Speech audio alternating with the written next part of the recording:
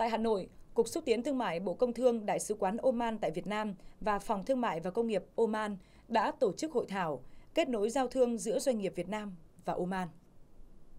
Tại hội thảo, Cục Xúc tiến Thương mại Bộ Công Thương cho biết Việt Nam và Oman đã ký kết một số hiệp định quan trọng, tạo nền tảng pháp lý cho quan hệ kinh tế giữa hai nước phát triển như Hiệp định Thương mại, Hiệp định chống đánh thuế hai lần và ngăn ngừa trốn thuế đối với các loại thuế đánh vào thu nhập,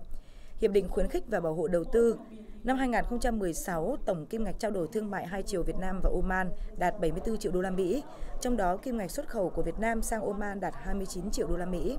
nhập khẩu từ Oman 45 triệu đô la Mỹ. Ngoài những nhóm hàng như là nguyên nhiên liệu, công nghiệp nhẹ, điện thoại di động và linh kiện, các doanh nghiệp Oman đã bày tỏ sự quan tâm đến các nhóm hàng nông thủy sản Việt Nam.